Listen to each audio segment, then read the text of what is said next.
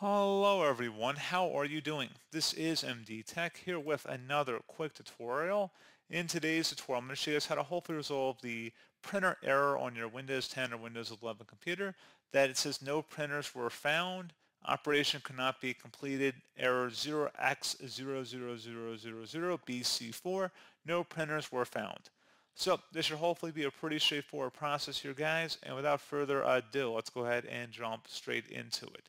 So we're going to start off by opening up the search menu. Type in GP Edit, best match, to come back up Edit Group Policy. Go ahead and open that up.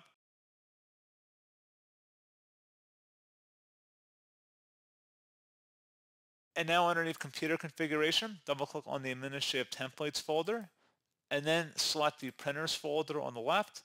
And now on the right side, locate where it says Configure RPC Connection Settings, and double-click on it select enabled and then on the left panel here where it says in the drop-down protocol used for outgoing RPC connections, click the drop-down. You want to select RPC over named pipes. Select that. And then once that is done, go ahead and select apply and OK. And then you can close out of here. Open up the search menu, type in services. Best result should come back with services. Go ahead and open that up. And now go down to the print spooler service and double click on it. You want to stop the service and then start the service again and set startup type to automatic if it isn't already and then select apply and OK. And then once that's done, go ahead and close out of here and you want to restart your computer.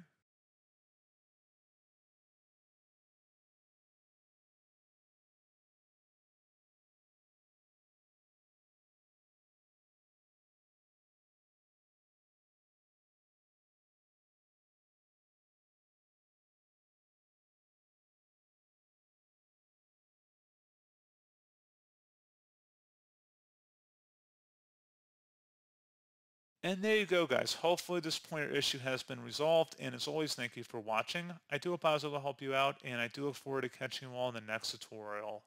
Goodbye.